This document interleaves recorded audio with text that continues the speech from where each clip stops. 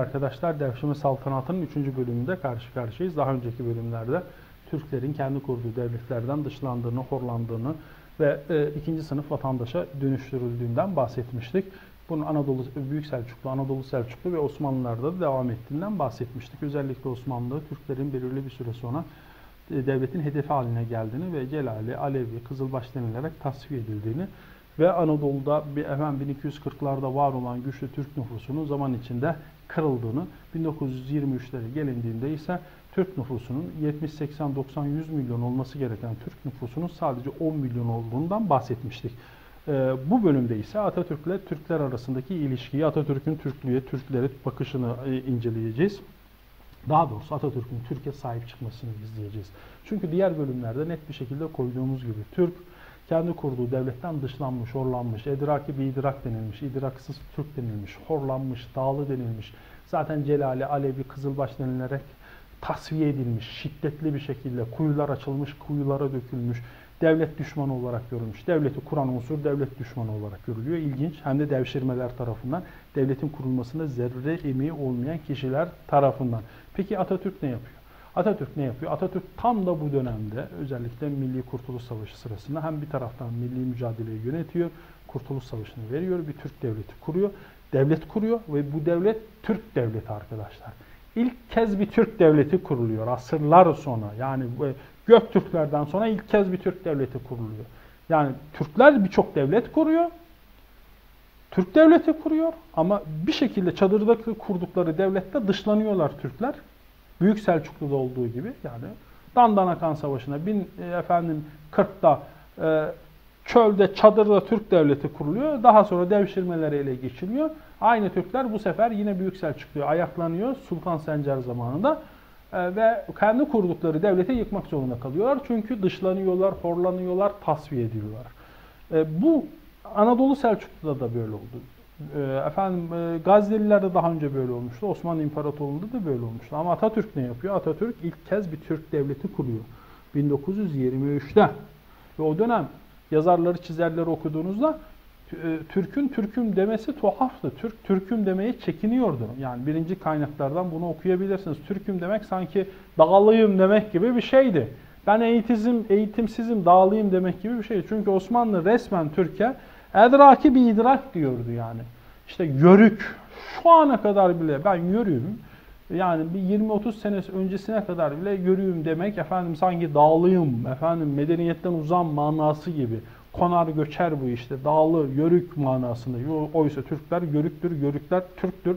Devleti de ya Türkiye'deki her Türk yörüktür ama kimisi 200 yıl önce e, kurulu düzene geçmiştir. Kimisi 100 yıl önce, kimisi 400 yıl önce. Ama netice itibariyle hepimiz yörüyüz yani.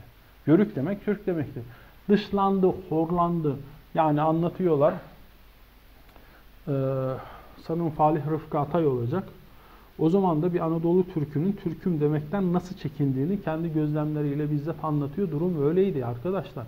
Yani biz çocukluğumuzda bile bunu hissedebiliyorduk. Peki Atatürk ne yaptı? Atatürk Türkiye sahip çıktı. Kurdu, Türk devleti kurdu.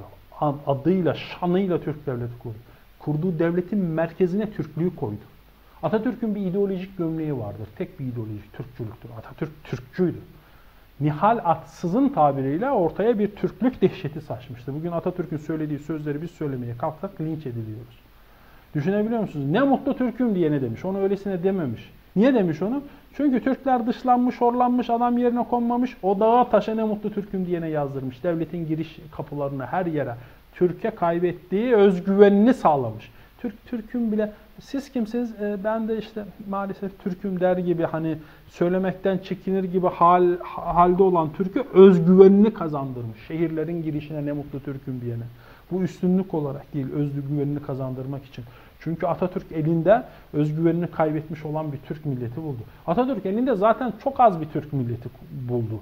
E, nitekim 10. yılda ne diyor? Yarattık 10 e, yılda 10 milyon genç. Yani şunu demek istiyor oluşturduk nüfus politikasıyla Atatürk Türkiye 100 sene kazandırmıştır. Bu 100 senede nüfusu bu noktaya getirmek içindir. Çünkü Osmanlı o Türk nüfusunu kırmıştır. Osmanlı'daki devşirmeler Türk nüfusunu kırmıştır. Atatürk nüfusun ne kadar önemli olduğunu görmüştü. Ve genç bir nüfus, eğitimli bir nüfus ve Türk şuuruyla, Türklükle yetişmiş bir nüfus ortaya koymuştur. Bunu da sözlerinde açık, net bir şekilde söylemiştir. Kendi kurduğu devletin Türk devleti olduğu, ordusunun Türk e, Türk ordusu olduğu, milletin isminin de Türk milleti olduğunu, Türk olduğunu, bu, bu ülkenin de Türk yurdu olduğunu altını çizerek vurgulu bir şekilde defaatle söylemiştir. Şimdi Cumhuriyet Halk Partisi'nin başında bulunan kişiler Türk'üm demeye çekiniyor. Atatürk'ün kelimesinin içinde Türk olduğu için Atatürk'e Türk demek bile istemiyorlar. Türk'üm aman efendim şunu demeyelim şu etnik unsur alınır falan filan. Zaten Türkiye Türk yurdudur deyince direkt faşist ilan ediyoruz. Allah'tan Atatürk bunları söylemiş. Eğer Atatürk ne mutlu Türk'üm diyene demeseydi biz bugün ne mutlu Türk'üm diyene dediğimizde Türk milliyetçileri tarafından bile faşist ilan edilebilirdik yani.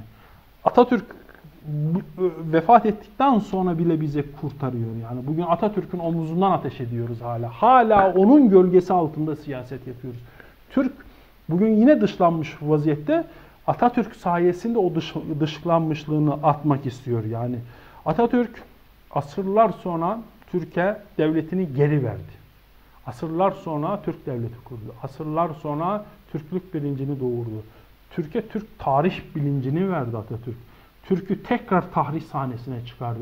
Ve Türk'ü e, daha sonraki misyonları için hazır hale getirdi. Bugün Atatürk düşmanlığının altında Türk düşmanlığı vardır. Atatürk'e İslamcılar e, Atatürk'e olan düşmanlığı dini sebeplerden değil, dolayı değildir. E, ırkı sebeplerden dolayıdır.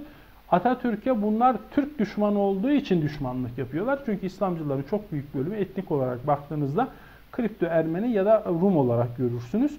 Dolayısıyla bunların ya da Kürtçüleri görürsünüz. Çünkü bu Kürtçülerin büyük Kürdistan hayali vardı, Ermenilerin büyük Ermenistan hayali vardı, Rumların büyük o efendim e, megala idea hayali vardı. E, Atatürk bunların hepsini yok etti.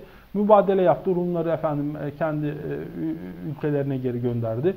Ermenilerin geri dönmesine müsaade etmedi. Sevde çizilen e, efendim Büyük Ermenistan'ı yırtarak arttı. E, Kürdistan'ı yırtarak attı. Dolayısıyla bunlar ırklarının intikamını almak isteyen kişiler. Ama açıktan düşmanlık yapamıyorlar. Kimisi sosyalizm üzerinden, kimisi İslamcılık üzerinden e, Atatürk düşmanlığı yapıyor. Ama bunun temeline indiğimizde bugün yapılan Atatürk düşmanlığı temelinde ne sosyalizm vardır ne de e, din vardır. Bunun te temelinde etnisite vardır. Atatürk'ün Türklüğünden rahatsız olanlar, rahatsız olan etnik grupların rahatsızlığı vardır. E, çünkü Atatürk gerçekten Türk tarihinin Bilge Kağan'dan sonraki en büyük Türk'üdür. Bunu hiç kimse inkar edemez yani. Türkiye sahip çıkmıştır. Türk Atatürk'e minnetini hiçbir şekilde ödeyemez. Bu bunun altını e, eski bir İslamcı olarak zamanında çok büyük hata yaparak Atatürk'e karşı çıkmış, eleştirmiş birisi olarak söylüyorum. Ben zaten yazdığım kitaplarda onun manevi şahsından da özür diledim. Bundan da hiçbir şekilde gocunmam. E, gururla söylerim. Bunun için kitapta yazdım. E, şimdi de gururla söylüyorum. Atatürk, Bilge Kağan'dan sonra Türk'ün ortaya çıkardığı en büyük Türk'tür. Bugün vefatından sonra bile onun ismiyle bir şeyler yapmaya çalışıyoruz. Onun gölgesinde siyaset yapıyoruz. Onun mirasından yararlanarak dışla, dışlanmışlığımızı ortaya ortadan kaldırmaya çalışıyoruz arkadaşlar. Ee, bu bilinçle tarihi okuyun. Bu bilinçle siyaseti okuyun. Perde arkasını görmeye çalışın. Perde onun değil. Yani sözlere değil, öze bakmaya çalışın arkadaşlar. Bir başka programda daha görüşmek üzere. Kendinize iyi bakın.